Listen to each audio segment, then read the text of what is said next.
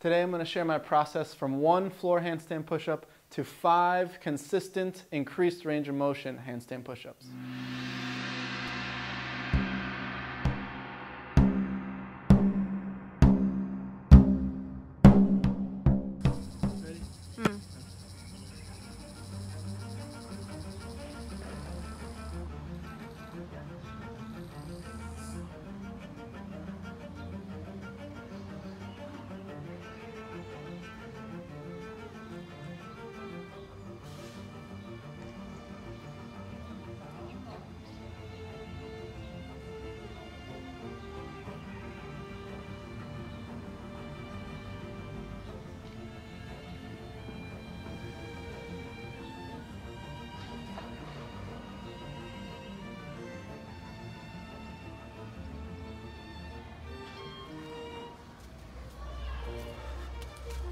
So here's the earliest video I could find on my handstand push-up. I believe this is from three years ago, and I could do one or two handstand push-ups, but it was inconsistent. All the stars had to align, and I had to pray to the correct gods, and then it would happen.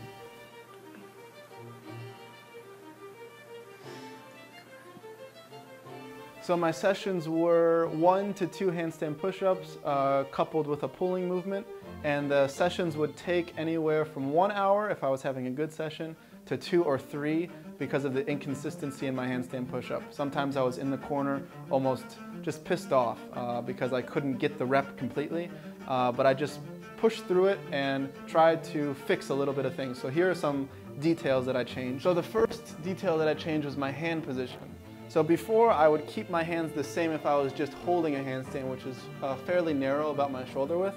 But I found after time, it's actually easier if you go a little bit wider than shoulder width. It helps me to control. The position. second one was to lean my weight towards my fingers. So as I was holding the handstand, I would actually push more into the fingertips and catch the balance more often.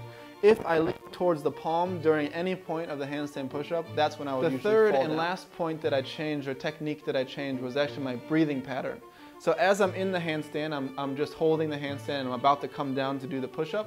I will take a breath in through my stomach, so, and I will hold in that, in that, in the stomach too, so I'll brace the abs. This is called a Valsalva maneuver and it's used in powerlifting a lot for squats or deadlifts. And I find it really useful here to lock the pelvis in place and not allow that little bend and to squish all around the place. It allows you to keep a straight line, touch, and then as I come up is when I'll breathe out. So I breathe in, hold, touch my head to the ground, and then breathe out.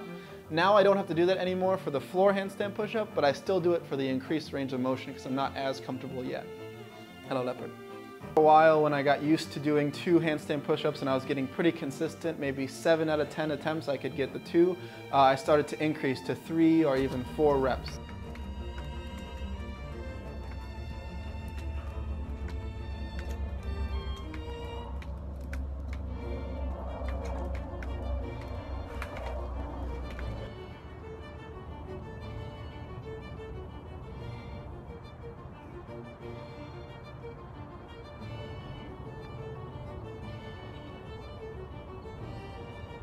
Then after about six to three, uh, sorry, six weeks to 12 weeks, I got very consistent at that. Maybe eight out of 10 times I could do three or four.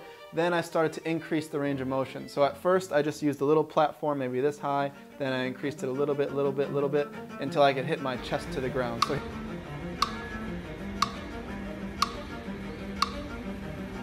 Nice.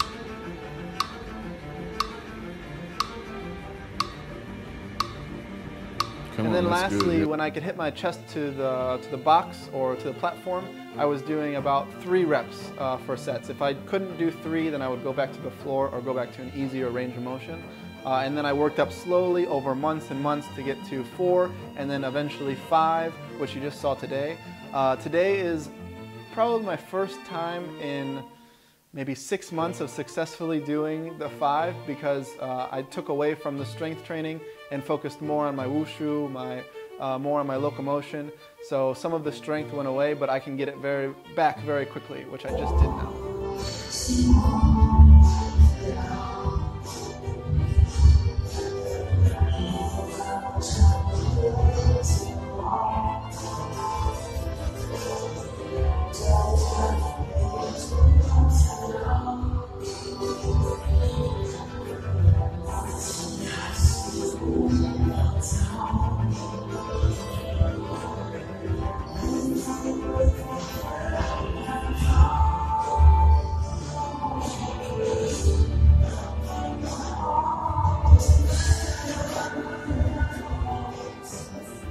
Is my process. There's a lot of other technical things that you can add to it. There's a lot of steps in between. Just know it takes a long time and it can be a frustrating journey.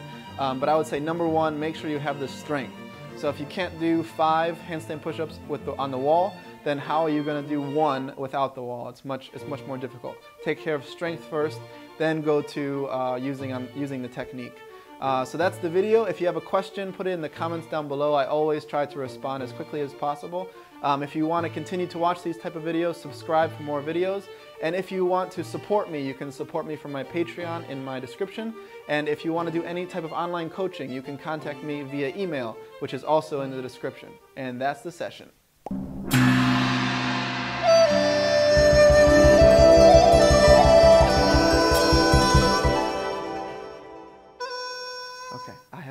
Have a I have a secret video for you guys that stay after the ending. What do I call that? Ending credits. Okay. Just as an experiment and to see uh, kind of how many I can do, I'm gonna do floor handstand push-up and see how many I can do. No tempo. Just make sure I hit my head to the ground and I lock out at the top, and I'm in a balanced position. Uh, this is after my bent arm strength, so I'm a little fatigued, but I'm just interested to see my goal would be maybe if I could hit 10 would be cool. I've never done 10 before.